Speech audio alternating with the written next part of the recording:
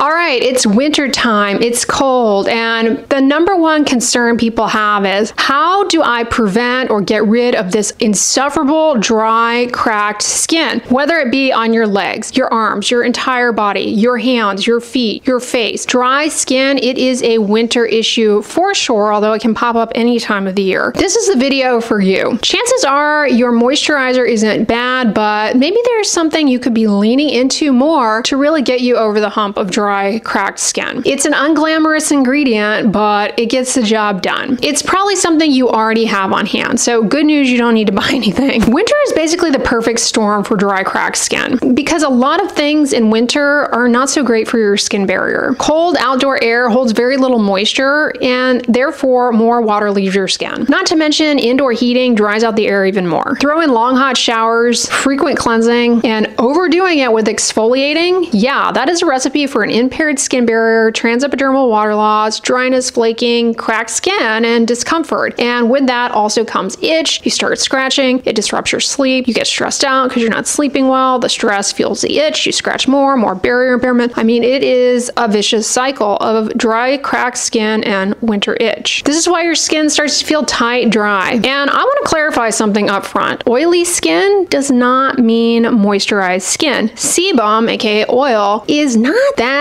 moisturizing. And I tell people this and they're like, huh, huh, huh. If you don't believe me, look at a two year old. A two year old has like zero sebum, okay? They don't have any sebum, but is their skin dry? Most of the time, no, okay? Good skin barrier. But with age and environmental exposures, our skin barrier becomes challenged. Sebum doesn't really correct the skin barrier, and having an impaired skin barrier means you're losing more water, and that's why the skin becomes dry. It loses water. When the water content drops, well, then the skin's ability to mature and maintain barrier function properly and turn over and naturally exfoliate, all that kind of goes wonky because the enzymes that do that need water in order to optimally function. The ingredient most people overlook for dry winter skin, probably because it's not sexy or because it has a bad rap, but it is a go-to recommendation from dermatologists, myself included, and that is, yeah, you guessed it, petrolatum. It's one of the most effective skincare ingredients, not only for protecting the skin barrier, for reducing transepidermal water loss, but for allowing your skin to heal from the winter elements and to get back on track to staying hydrated on its own. Petrolatum is what we call an occlusive. That means it sits on top of the skin to create a film to reduce the loss of water from the skin, as well as to protect the skin from irritants. While it doesn't contain any humectants per se, by sitting on the surface of the skin and creating that watertight seal, it ultimately, indirectly, we'll say, helps to improve water content because, well, it reduces the loss of water. And in contrast to other skin protectants, which are aimed at doing the same thing, petrolatum not only decreases transepidermal water loss the greatest, but it has the best longevity on the skin, meaning if you put petroleum jelly on the skin, it'll stay there working in your favor for a lot longer in comparison to other things. It resists removal with water. It won't last indefinitely, but it will buy you the most long lasting reduction in transepidermal water loss, which is exactly what you need when your barrier is impaired. There are a few other great properties of petroleum jelly that get overlooked or dismissed as not being that important when they are really helpful features, and that is it's chemically inert. It doesn't degrade. Petroleum jelly, straight petroleum jelly that is 100% aka Vaseline, it has a long shelf life. It has zero water in it, so it's not going to become contaminated with bacteria. It doesn't require any preservatives because nothing's going to grow in it. It's extremely, extremely stable in contrast to maybe oils, which, depending on the oil, of course, could oxidize and become more inflammatory. Petroleum jelly is something that the immune system doesn't really care about, which is fantastic because when you have an impaired barrier, your immune system is on the defense and you're a lot more likely to mount allergic reactions to things that you're putting on the skin. So, petroleum jelly is actually the safest thing to use in these situations. It's one of the reasons why we recommend people who are dealing with really stubborn chapped lips to just use petroleum jelly because a lot of times the stubborn chapped lips may be due to something that they're allergic to or irritated by in that lip balm that they keep putting on and they need to stop, stop using it and put on just plain petroleum jelly. It's used on babies, it's used on people who have different types of eczemas. We use it after dermatologic procedures to heal wounds. It's a go-to recommendation for healing cuts and scrapes. I mean, it really does a lot for the skin under underrated. Well, why shouldn't I just use a lotion? One of the reasons why lotion may not be cutting it for your winter skincare routine is that it's not quite occlusive enough. Maybe you're relying too much on hydrating ingredients, but your barrier is impaired, so you're losing a lot of moisture. So a lightweight lotion, it might just not be enough to cut it. Or it may be a better option as maintenance, but to get the barrier back on track, you might benefit from leaning more into petroleum jelly. A lot of people look for ingredients that help to replenish moisture, but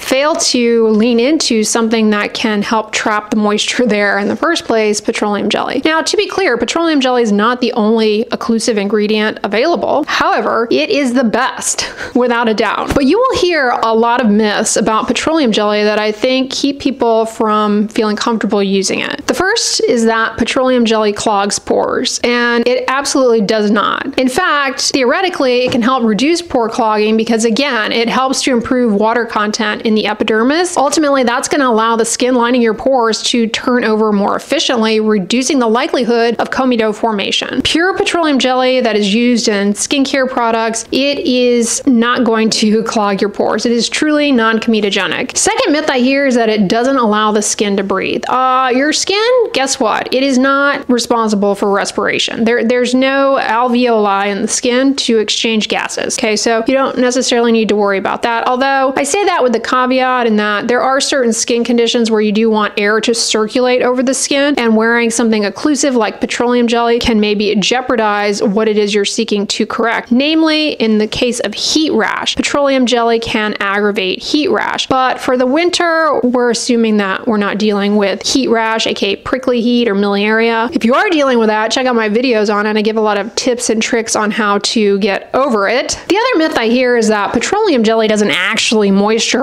your skin, right? I mean, it doesn't have humectant, so how is it going to improve water content? It improves water content by keeping it there, keeping it from evaporating. So sure, you won't get instant plumping, but when you use it consistently, the water content will improve. The result, moisturized skin. Finally, the biggest myth is that it is toxic because it is derived from petrochemicals. Petroleum jelly is highly refined, highly purified, and it's chemically inert. And like I said, very safe to use. For example, if you, God forbid, are to sustain a severe thermal burn, you end up in the hospital, they're going to be putting petroleum jelly on your skin at some point.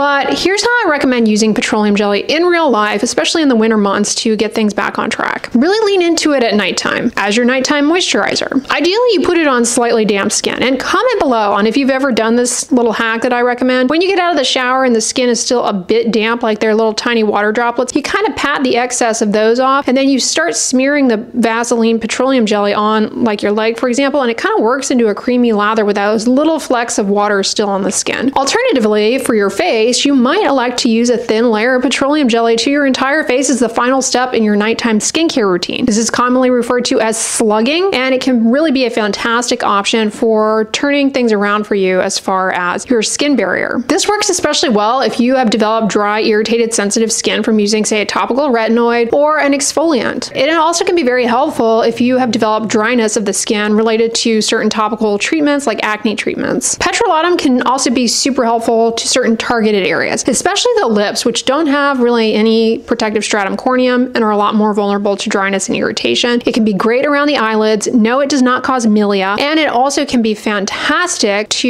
your feet, especially if you cover with socks to really trap it there in place and not get all over the floor. That'll really help correct dry, cracked feet. It's also underrated for your nails because it helps to improve the watertight seal of the nail folds, limiting access of moisture into the nail, which would lead to nail ridging and brittleness. It's great for eczema prone skin. If you've just had some sort of procedure, petroleum jelly is great to put on the skin because again, it's inert. And it's fantastic if you live in a cold, dry climate and you struggle with windburn, chapped skin. Wonderful for dry, cracked hands. Put it on and then cover your hands with cotton gloves. Sit that way for at least an hour, if not overnight. Wow, it really can help with the dry, cracked hands tremendously. How do you choose a product? Well, when it comes to choosing a product with petroleum jelly, you have a few options. You can go go with a petroleum jelly based ointment, either 100% petroleum jelly or an ointment that is majority petroleum jelly, like Aquaphor healing ointment or CeraVe healing ointment. Admittedly, these do feel a bit greasy on the skin. Maybe you're not comfortable with that. Uh, however, I also suggest taking a look at certain moisturizers. One thing I've noticed over the years is that moisturizers marketed for body, like body creams, body lotions, they more often than not have petrolatum in them, as opposed to their facial counterparts tend to lean into more of dimethicone, for example, because it doesn't feel as greasy on the skin and they know that consumers maybe don't like the greasy feel. But at the same time, many consumers are seeking a rich night cream, right? Especially once you get into your 40s and thereafter, or for women in particular, our skin's ability to retain moisture is less than it once was, and we maybe need a little bit more as far as the richness in our moisturizer. I always suggest people try using your body cream or your body lotion on your face. A lot of times they have petroleum jelly, and people are scared like, isn't it going to clog my pores? No, petroleum jelly doesn't clog pores. It won't clog your pores or cause milia or anything of that sort. And it's also often a lot more cost effective to just use a body cream that you're using on your body to your face, like one and done kind of a thing. Now, if your skin barrier is compromised, I do suggest avoiding added fragrances as these are common allergens. And like I said, when your skin barrier is impaired, your,